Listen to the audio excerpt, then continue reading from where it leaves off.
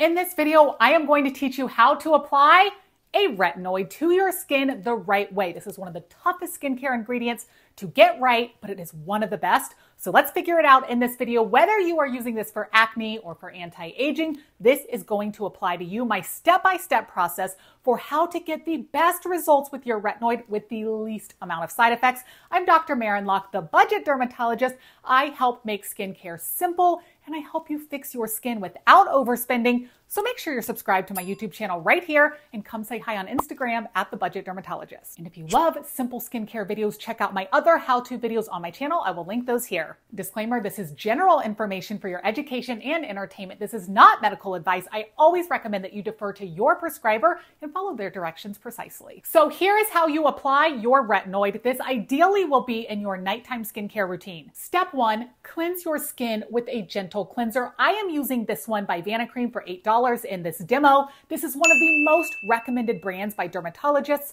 for patients who have sensitive skin or those who are using retinoids.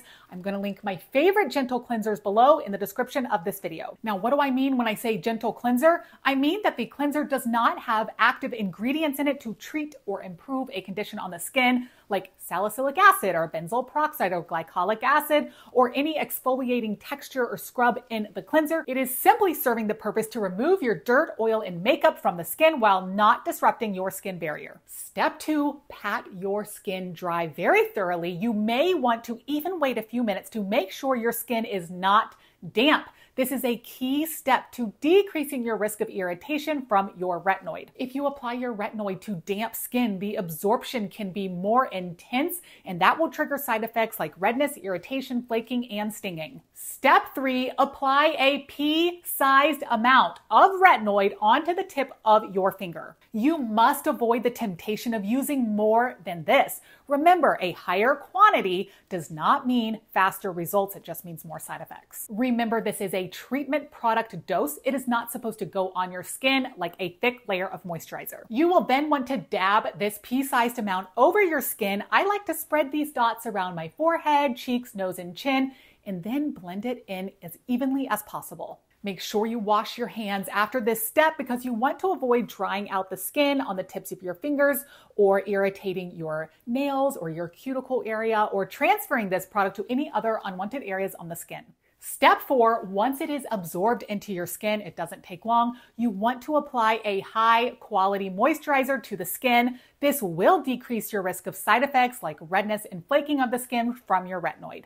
Here is my favorite moisturizer to pair with the retinoid. It's by La Roche-Posay. It's called Double Repair. I will link this in the description here. It is a top pick because it has ingredients in it that will strengthen your skin barrier, which is at a high risk to be compromised by the retinoid. This particular one has niacinamide, it has ceramides in it, and it is set in this highly moisturizing base that is not overly greasy or heavy on the skin. So for this step, I dispense a liberal amount of this and thoroughly massage it into the skin. And that is the correct way to apply a retinoid to the skin. And don't forget your SPF in the morning because retinoid usage can increase sensitivity to the sun. Now, if you want some tips here to troubleshoot your retinoid, if you are using this method here but still getting irritation and side effects, try these tips. One, decrease the frequency of use down to once, twice, maybe three times per week rather than doing it every night. You need to let your skin adjust before increasing the frequency.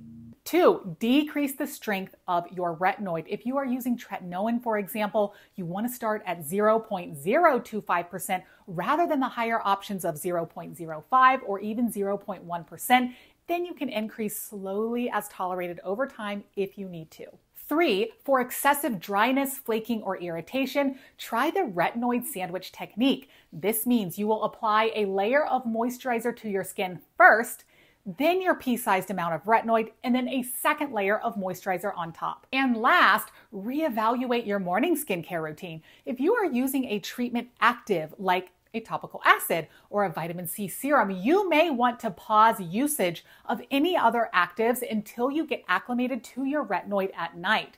So instead, you can just use a cleanser, moisturizer, and SPF in the morning Or you can consider a barrier repair product like a niacinamide serum or a ceramide serum. I will link a few of my favorite in the description of this video. I hope you found this simple skincare basics video helpful. I have one on how to apply sunscreen to your face and how to properly double cleanse. I will link those below. So tell me, what simple skincare video do you want to see next? Let me know in the comments and make sure you're subscribed so you don't miss it. Bye.